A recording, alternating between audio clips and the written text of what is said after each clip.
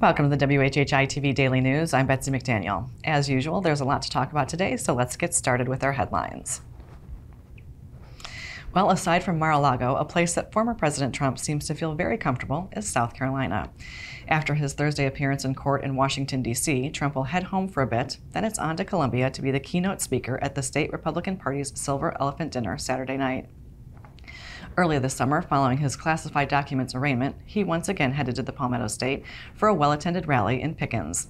A Fox Business poll in July showed Trump with 48% from South Carolina Republicans, with Florida Governor Ron DeSantis, former Governor Nikki Haley, and Senator Tim Scott, all with about 12% support. An unfortunate sign of the times was a part of your morning north of the Broad earlier this week when first responders, the Beaufort County School District security personnel, and Beaufort Memorial Hospital engaged in active shooter drills. There was a larger than normal police and EMS presence around Lady's Island Middle School, Beaufort High, and Beaufort Memorial Hospital. This year's training included a parent student reunification scenario and a mock patient surge at the hospital. Over the last several months, a group of community members who want to ban a number of books in Beaufort County School libraries has been pretty vocal. However, there seemed to be little organized support from those who want the books left alone. But at this week's school board meeting, nearly 60 attendees, all wearing white with a support educator sticker on them, spoke during the public comment section under the title Families Against Book Bans. They claim to have been organized since January to support teachers and battle against banning books from the school libraries. You might remember back in the spring when the Technical College of the Lowcountry, or TCL, decided it wanted to have a mascot even though it has no sports teams. The school invited public input and has picked Tides as the mascot over three other finalists, which included jumbo shrimp, loggerheads, and tomatoes.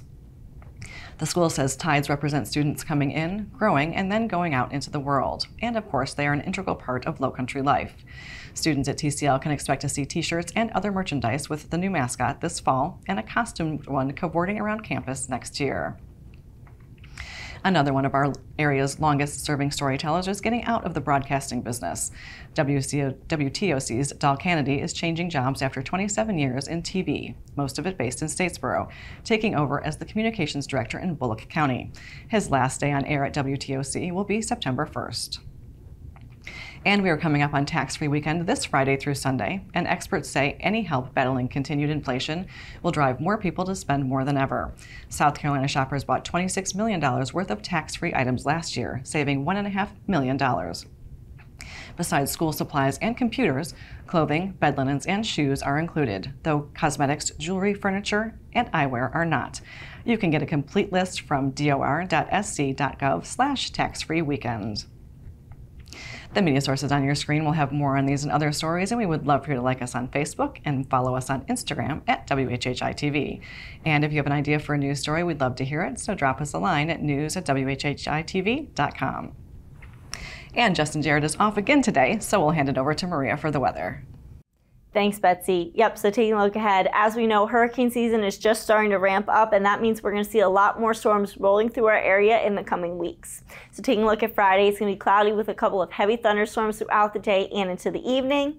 Hilton is going to have a high of 83, a low of 77. Bluffton's going to have a high of 83, a low of 77. And Beaufort's going to have a high of 84 and a low of 76.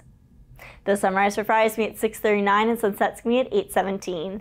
Taking a look at the beach tides, high tide's going to be at 12.07 p.m. and low tide's going to be at 7.15 p.m.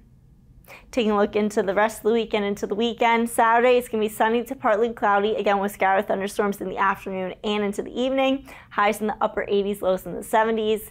Come Sunday, it's going to be cloudy with scattered thunderstorms throughout the afternoon, but should be clearing up by the evening. Highs in the 90s, lows in the 70s. And then come Monday, it's going to be cloudy with showers in the morning, but should be clearing up by the afternoon. Highs in the 90s, lows in the upper 70s. That's it for today. Let's head back to the desk. Thanks, Maria. After a short break, Robin Zimmerman sits down with United Way of the Low Country. Don't go away.